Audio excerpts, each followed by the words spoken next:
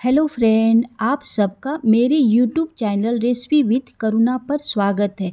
आज हम आलू टिक्की चाट का रेसिपी शेयर करते हैं, जो झटपट आसानी से बन जाते हैं और खाने में भी बहुत टेस्टी लगता है। तो चलिए बनाते हैं। टिक्की चाट बनाने के लिए हम एक कप काबुली चना लिए हैं। इसको हम अच्छी तरह से धोकर आठ घंटा फूलने के लिए छोड़ दिए थे और इसका सारा पानी निकाल लिए हैं। अब हम इसको प्रेशर कुकर में डालते हैं। एक कप काबली चना है तो हम इसमें दो कप पानी डालते हैं और एक चम्मच नमक डालते हैं। आधा चम्मच हल्दी पाउडर डालते हैं। सबको इसमें इस तरह मिला देते हैं। इसका ढक्कन लगा के हम स्लो टू मीडियम आँच पर पाँच विसिल आने तक कुक करते हैं। पाँच विसिल आ गया है अब हम गैस ऑफ़ करते हैं और कुकर को ठंडा होने देते कुकर हैं। कुकर ठंडा हो गया है अब हम इसको खोल के देख लेते हैं। अब ये चना अच्छी तरह से गल गया है। इसको हल्का हल्का कलछल से इस तरह चला देते हैं। अब हम इसके लिए तड़का तैयार करते हैं। तड़का के लिए कढ़ाई गर्म हो गया है अब हम इसमें एक चम्मच तेल डालते हैं। और इसको थोड़ा गर्म होने देते हैं। तेल गर्म हो गया है। अब हम इसमें आधा चम्मच जीरा और आधा चम्मच राई डालते हैं। दोनों को चटकने देते हैं। जीरा और राई चटकने लगा है।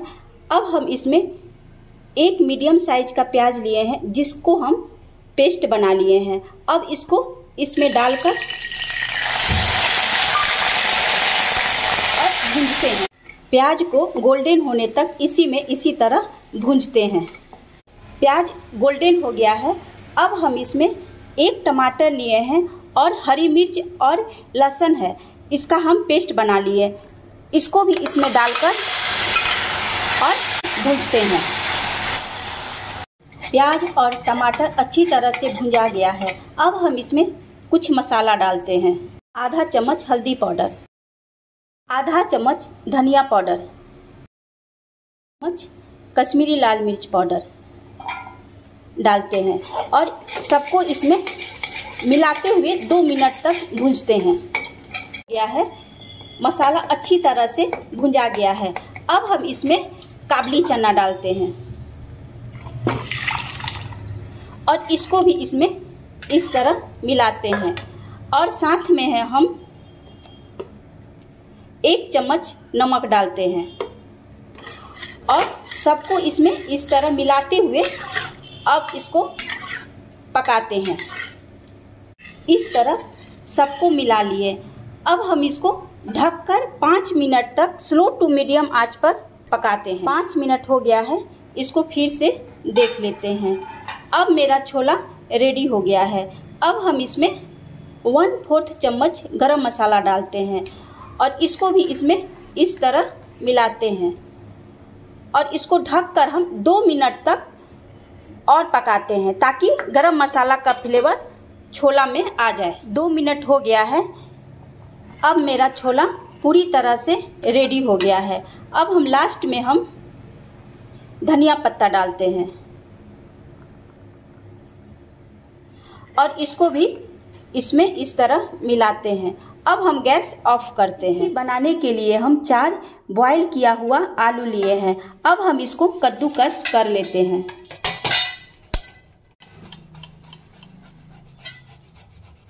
आलू को कद्दूकस कर लिए। अब हम इसमें आधा चम्मच काला नमक और आधा चम्मच चाट मसाला पाउडर डालते हैं और एक हरी मिर्च को छोटे छोटे पीस में कट कर लिए। इसको भी इसमें डालते हैं। और थोड़ा सा धनिया पत्ता डालते हैं और सबको इसमें इस तरह मिलाते हैं। सबको इसमें इस तरह मिला लिए। अब हम इसमें बाइंडिंग के लिए एक चम्मच कॉर्नफ्लोर लेते हैं और इसको इसमें डालते हैं और इसको भी इसमें इस तरह मिलाते हैं। इस तरह सबको मिला लिए। अब हम इसको छोटे छोटे टिक्की के तरह बनाते हैं। इस तरह टिक्की बना लिए। अब हम इसको सेलो फ्राई करते हैं। सेलो फ्राई करने के लिए हम नॉन स्टिक तावा रखे हैं। अब इसके ऊपर थोड़ा सा तेल से ग्रीस कर देते हैं। इस तरह तेल से ग्रीस कर दिए। अब हम एक एक कर कर टिक्की को रखते हैं। इस तरह टिक्की को तावा पर रख दिए। अब इसको दो मिनट तक इसी तरह सिकने देते हैं। दो मिनट हो गया है, अब इसको पलट देते हैं। ये एक साइड से थोड़ा सिक गया है।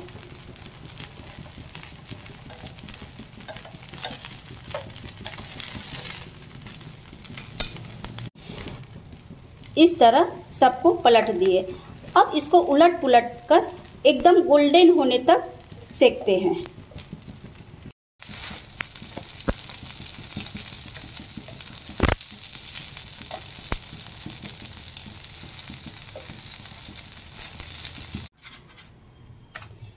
अब टिक्की चारों तरफ़ से गोल्डन हो गया है।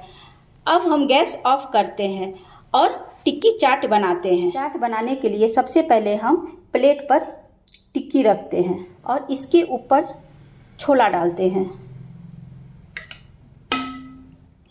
और छोला के ऊपर फेटा हुआ दही डालते हैं।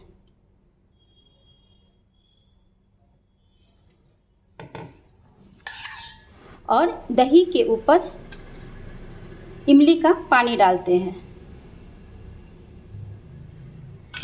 प्याज डालते हैं।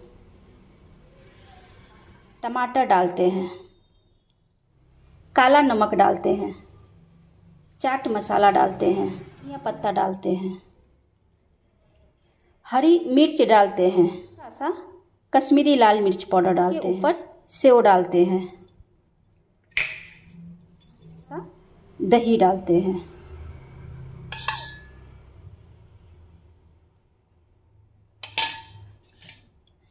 और थोड़ा प्याज डालते हैं।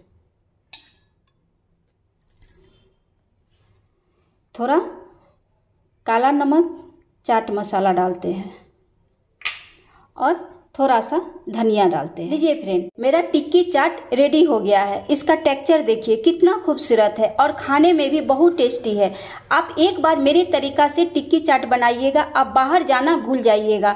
ये रेसिपी आप लोग को कैसा लगा कमेंट्स बॉक्स में लिख कर ज़रूर बताइएगा। और मेरे वीडियो को लाइक शेयर करिए और चैनल को सब्सक्राइब करिए प्लीज़